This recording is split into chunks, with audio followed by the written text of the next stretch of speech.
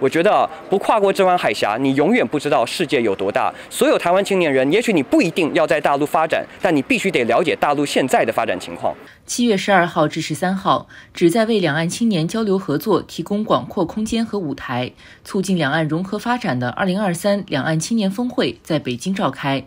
已在北京创业六年的台湾青年徐涛在会上说：“在大陆的确拥有更多可能性。”我可以非常自豪地说，在台湾，我连投资人都看不懂的商业模式，在北京在这里成功获得我事业的这么一个脚步。现在已经成功的在北京、上海、深圳、广州、杭州等城市，现在有超过了一万家企业客户，每一天都有上万个订单在我平台上成功完成交付。我在北京呢，也成功的获得了超过一百多万的工时的这么一个人次的灵活就业的岗位创造出来。二零二二年，徐涛入选福布斯和胡润百富的中国三十岁以下青年创业榜的榜单。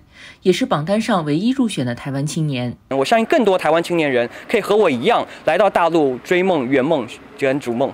当天的峰会，来自两岸的青年代表三百余人出席，也有不少首次登陆的首来族台湾青年。第一次来北京，就就觉得呃，什么东西都很大，历史文化也就是也是呃很受向往的这样子。那想要多了解，然后多来之后还想再来。前两天就是去外面呃前门大街啊，王府井逛了逛，然后就觉得呃街上的风景我都觉得很漂亮，然后特别喜欢这。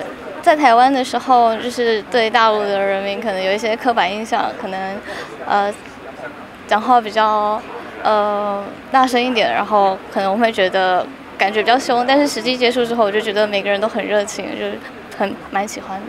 在台湾工作，我看到了未来五到十年的天花板。我不甘心。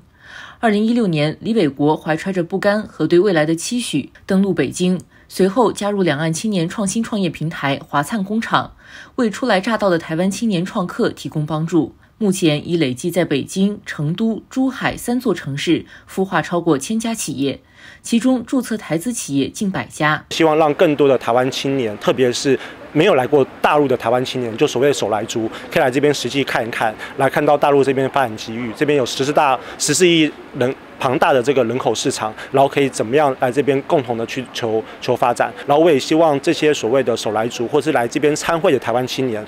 呃，在回到台湾之后，可以把更多的这个发展机遇可以带回台湾。在李伟国和徐涛看来，拓展眼界、尝试更多可能性，对于年轻人来说非常重要。